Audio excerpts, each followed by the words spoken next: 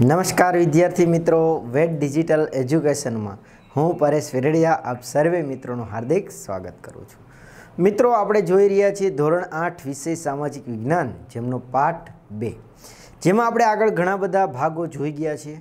આજે કંઈક એવા જ ભાગની આપણે ચર્ચા કરવાની છે કે ભાઈ, જે જનજાતિ છે, એની પ્રવૃત્તિઓ શું હતી? આગળના લેક્ચરમાં આપણે મિત્રો વાત કરી કે ભાઈ, જનજાતિઓ છે એ ભારતના કયા કયા વિસ્તારમાં વસતી હતી? એની ચર્ચા કરી હતી. હવે આપણે આ વીડિયો લેક્ચરમાં જોવાનું છે કે ભાઈ આ પ્રવૃત્તિઓ શું કરતી હતી? કઈ કઈ એમની પ્રવૃત્તિઓ હતી? એની ચર્ચા કરીએ. તો કે કેટલીક જનજાતિ સમૂહો છે એ ખોરાક એકઠો કરી જીવન જીવતા હતા. એટલે કે જે આપણી કેટલીક જનજાતિ છે એ ખોરાક ભેગો કરીને પોતાનું જીવન છે એ પસાર કરતા હતા. જનજાતિ લોકો પશુપાલન સાથે સંકળાયેલા હતા. જેમ આપણે આગળ હમણાં ચર્ચા કરી, એવી જ રીતના છે એ જનજાતિના લોકો છે એ શું હતા?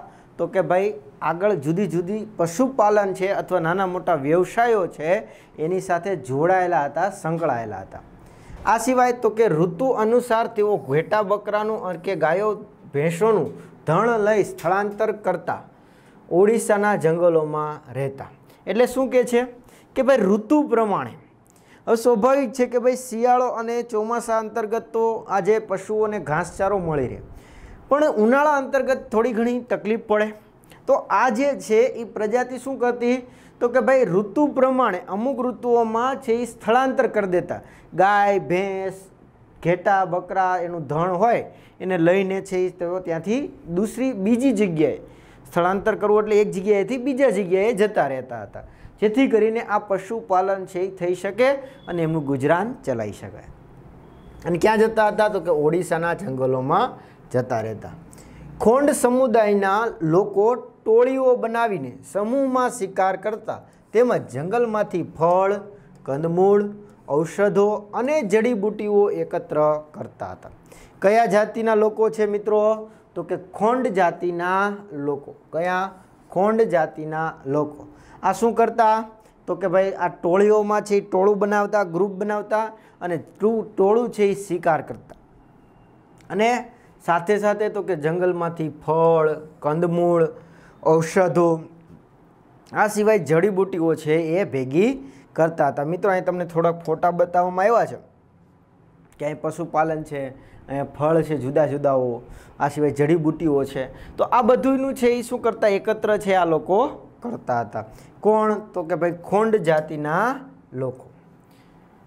જંગલોમાંથી મેળવેલ વસ્તુઓ સરખા ભાગે એકબીજાને વહેંચતા અને તેને સ્થાનિક બજારોમાં વેચતા. જુઓ, આ લોકો જંગલમાં સમૂહમાં કરતા, શિકાર કરતા, વસ્તુ મેળવતા. તો આ જે વસ્તુ છે એ આવી ગયા પછી એનું શું કરતા? તો કે સરખા ભાગે એમની વહેંચણી કરતા. એટલે કે જેને જેટલા ભાગ, જેટલા બધાને સરખું સરખું ભાગ. કે માની લો કે પાંચ ફળ મળ્યા છે, તો પાંચેને એક એક ફળ આપવામાં આવતું. તો આવી રીતના સરખા ભાગે શું કરવામાં આવતું? એમની વહેંચણી કરવામાં આવતી. અને સ્થાનિક બજારો માટે કે નાની નાની જે બજારો હોય, એમાં એને વેચી દેવામાં આવતા. ખોંડ જાતિના લોકો કાપડ વણવાનો, ચામડા કમાવાનો અને તેને રંગવાનો વ્યવસાય કરતા હતા. જુઓ, આ જે ખોંડ જાતિના જે લોકો છે, એ શું કરતા? તો કે કાપડ વણવાનો. કાપડ બનાવવાનો. વણવાનો એટલે બનાવવાનો, ચામડા કમાવાનો અને તેને રંગવાનો, એટલે કે જે ચામડામાંથી વસ્તુ હોય, એ બનાવીને એને રંગવાનો, એટલે કે કલર કરવાનો. અને આ ચામડાના રંગકામ માટે કુસુંબી અને પલાશના ફૂલોનો ઉપયોગ કરતા. જો, આ જે ચામડાની ઉપર રંગકામ લગાવવા કેમ તો કે એ સમયે પાકા રંગ હતા નહીં. તો આ લોકો છે, એમને છે એ રંગકામ કરવા માટે. કોને? તો કે ચામડા ઉપર. તો કઈ કઈ વસ્તુ? તો કે કુસુંબી નથી મોસંબી નથી, હો. હા, ઘણે કહેશે ઉચ્ચારણ સરખો થાય છે, મોસંબી. મોસંબી નથી ભાઈ. શું છે? કુસુંબી અને પલાસના ફૂલો. કયા? કુસુંબી અને પલાસના ફૂલોનો એ ઉપયોગ કરતા. શેમાં? તો કે ચામડાને રંગવામાં. આ સમયે દેશના આદિવાસી સમૂહો બે પ્રકારે ખેતી સાથે જોડાયેલા હતા. એટલે કે આ સમયની આપણે વાત કરીએ તો કે આ સમયે જે આદિવાસી સમૂહ છે એ બે પ્રકારની ખેતી સાથે જોડાયેલા હતા. કેટલી? તો કે બે પ્રકારની. પેલું સ્થળાંતરીય ખેતી અને સ્થાયી ખેતી. પહેલો પ્રકાર કયો છે? સ્થળાંતરીય ખેતી. સ્થળાંતરીય ખેતી એટલે કેવી? તો કે ભાઈ એકાદ બે વર્ષ અહીંયા ખેતી કરવી, પછી અમુક સમય પછી ત્યાંથી જતું રહેવું, બીજી જગ્યાએ સ્થાયી થવું ત્યાં ખેતી કરવી ત્યાં અમુક સમય પછી પાછી નવી ખેતી કરવા જવા માટે નવી જગ્યાએ જવું આને સ્થળાંતરીય ખેતી કહેવાય. નેક્સ્ટ સ્થાયી ખેતી એટલે શું?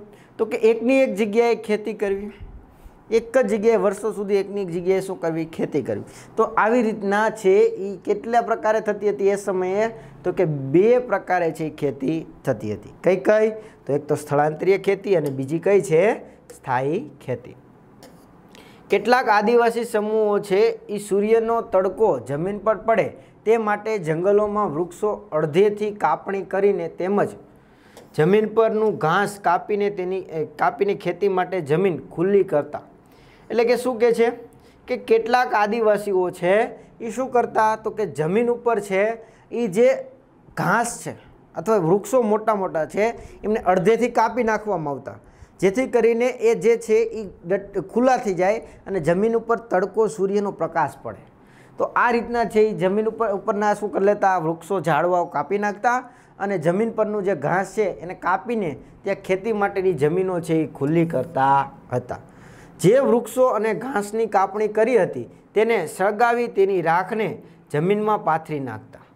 એટલે કે જુઓ કે જે વૃક્ષો જે એની ડાળીઓ જે ઉપરના પાંદડાઓ બધું કાપ્યું હોય, એને શું કરી દેતા? સળગાવી દેતા. અને એ સળગાવેલી હવે સ્વાભાવિક છે કે કોઈ પણ વસ્તુ લાકડું સળગાવો, તો શું થાય? રાખ થાય ને? હા. તો આ રાખ થાય હોય, એને પાછી આ જમીનમાં શું કરી દેતા? છાંટી દેતા, પાથરી દેતા હતા. રાખના પોટાશ હોવાથી જમીન ફળદ્રુપ બનતી. જુઓ. શું? તો કે એ લોકોને ખબર ના હતી, ભાઈ આવું બધું હોય. પણ છતાંય એ લોકો છાંટતા હતા ઉત્પાદન સારું મેળવતા. કેમ? તો કે રાખમાં કયો હોય? પોટાશ હોય. શું હોય? પોટાશ. એને લીધે જમીનની શું થતી હોય? ફળદ્રુપતા વધતી હોય. એટલે આ રીતના છે, પોટાશ હોવાથી શું થતું? ફળદ્રુપતા વધતી. એક વખત પાક ઉકાળ્યા પછી તેઓ ત્યાંથી બીજી જગ્યાએ સ્થળાંતર કરતા. એટલે કે બીજી જગ્યાએ આ રીતે ફરીથી ખેતી કરતા. આથી તેને સ્થળાંતરે ખેતી કહેવાય છે. જુઓ એટલે કે એક જગ્યાએ તે પાક ઉકાળી દીધો, પાક લઈ લીધો, પાક મોટો થઈ ગયો, લઈ લીધો. પછી તો કે ભાઈ એ લોકો છે, હવે ત્યાંથી બીજી જગ્યાએ જતા. બીજી જગ્યાએ આવી રીતના પ્રોસેસ કરતા, જમીન બનાવતા. એ જમીન છે પાછું એમાં ઉત્પાદન લેતા.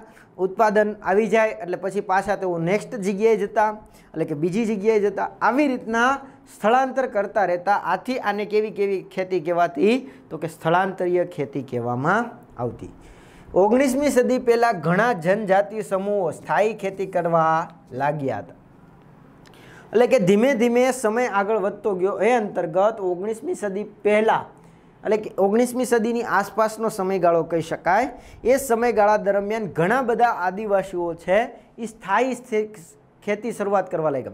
સ્થાયી એટલે કઈ? તો કે એક જ જગ્યાએથી ખેતી કરવી. એને કેવી કહેવાય? સ્થાયી ખેતી. તો આવી રીતના સ્થાયી ખેતી છે એ લોકો કરવા લાગ્યા. કે ભાઈ એકની એક જગ્યાએ જ ખેતી કરવી દર વર્ષે. આથી તેમની જમીનનો અધિકારો પણ મળતા, મળ્યા હતા. એટલે કે આવી રીતના એકની એક જગ્યાએ પોતે ખેતી કરતા, આથી એમને જમીનના અધિકાર. એટલે કે એમની માલિકીની એ જમીન ગણવામાં આવતી હતી. જેમાં છોટા નાગપુરના મુંડાઓ તેમજ ગોંડ અને સંથાલોનો સમાવેશ થાય છે. એટલે કે આવી રીતના સ્થાયી ખેતીમાં મહત્ત્વની કઈ કઈ જાતિઓ? એક તો છોટા નાગપુરની મુંડાઓ, ગોંડ અને સંથાલોનો સમાવેશ છે એ આ જાતિઓમાં કરવામાં આવતો હતો, એમ કહી શકાય. નેક્સ્ટ છે ઈસ્ટ ઇન્ડિયા કંપની છે, એણે જનજાતિઓના વિકાસ ભયરૂપ લાગતો તેણે જનજાતિ સમુદાયના મુખ્યઓની સત્તા પર કાપ મૂક્યો. જો ઈસ્ટ ઇન્ડિયા કંપની જે અંગ્રેજોની કંપની હતી, એના સમયમાં એને આ જે જનજાતિઓ છે, એનાથી બીક લાગવા લાગી. ભયુક્ત એટલે શું? તો કે એનાથી ડર લાગવા લાગ્યો, એનાથી બીક લાગવા લાગી. આથી એમણે શું કર્યું તો કે આ જનજાતિના જે મુખ્યા હોય, એટલે કે વડા હોય, મુખ્ય નેતા હોય એમની ઉપર શું કર્યો? એની જે સત્તાઓ હતી, એની પર કાપ મૂકી દીધો. ભાઈ, હવે તમે આટલા એટલા જ અધિકાર ભોગવી શકશો. બધા અધિકાર ભોગવી શકશો નહીં.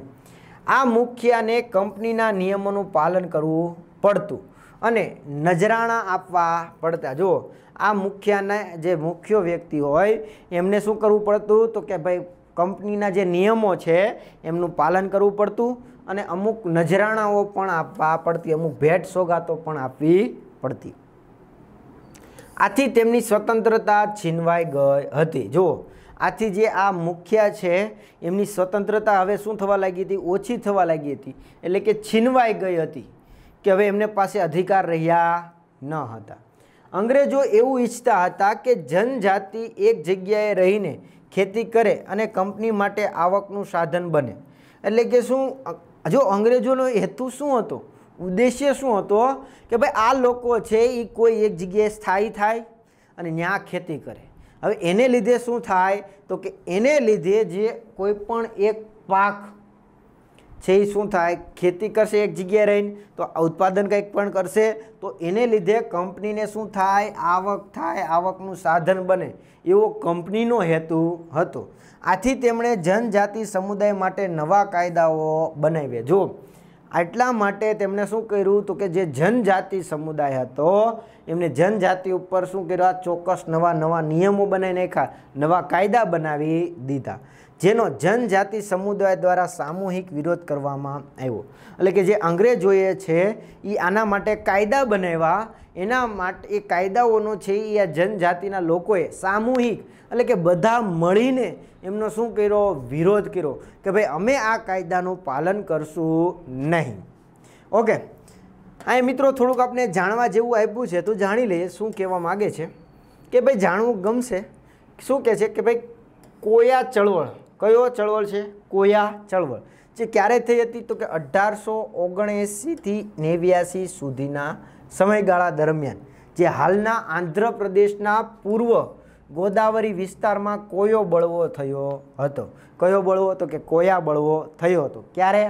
તો કે અઢારસો ઓગણસિત્તેરથી અઢારસો, સોરી, ઓગણએંસીથી નેવ્યાસી સુધીના સમયગાળામાં. ક્યાં કણે? તો કે આંધ્રપ્રદેશના પૂર્વના ગોદાવરી વિસ્તારમાં.